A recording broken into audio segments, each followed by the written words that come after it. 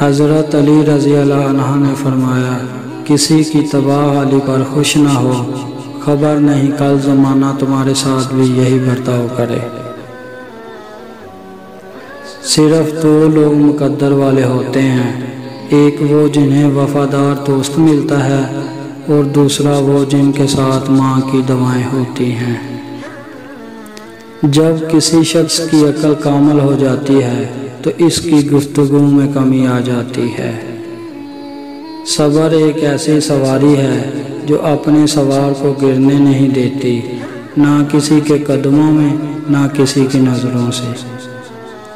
हक जहाँ पर भी हो, वहाँ तक पहुँचने के लिए शदीद सख्तियों में भी घुस जाओ। कभी तुम दूसरों के लिए दिल से दवा मांग कर तो देखो तुम्हें अपने लिए दवा मांगने की ज़रूरत नहीं पड़ेगी। मुश्किल हमेशा बेहतरीन लोगों के हिस्से में आती हैं, क्योंकि वो इसको बेहतरीन तरीके से अंजाम देने की सलाहियत रखते हैं। नाराज़गी ज़ाहिर करना दिल में बराई रखने से बेहतर है। मोहब्बत दूर के लोगों को करीब करती है और अदावत करीब के लोगों को दूर करती है। गुर्बत इंसान को अपने ही शहर में अजनबी बना देती है। परेशानी, खामोश रहने से कम, सब्र करने से ख़त्म और शुक्र करने से खुशी में तब्दील हो जाती है। कभी अपनी ज़बान से किसी के ऐब बयान ना करो, क्योंकि ऐब तुम में भी हैं और ज़बान लोगों की भी। मुश्किल वक़्त आ जाए तो किसी का एहसान न लो। क्योंकि मुश्किल वक़्त चार दिन का और एहसान ज़िंदगी भर का होता है। अगर इंसान को तकबर के बारे में अल्लाह की नाराज़गी और सज़ा का इलम हो जाए तो बंदा सिर्फ़ फ़कीरों और गरीबों से मिले और मिट्टी पर बैठा करे।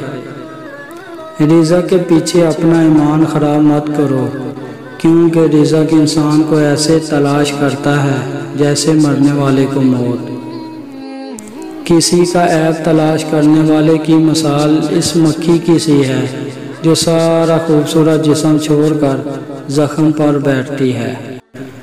जो इंसान किसी के एहसान का शुक्रगुजार नहीं है, वो आइंदा ज़रूर इससे महरूम हो जाता है। हालत एक किस्म की मौत है और जहाँ लोग चलती फिरती लाशें हैं। उन लोगों को खोने से डरो, जिनके नज़दीक दोस्ती के रिश्ते, खून के रिश्तों से भी ज़्यादा अज़ीज़ हों।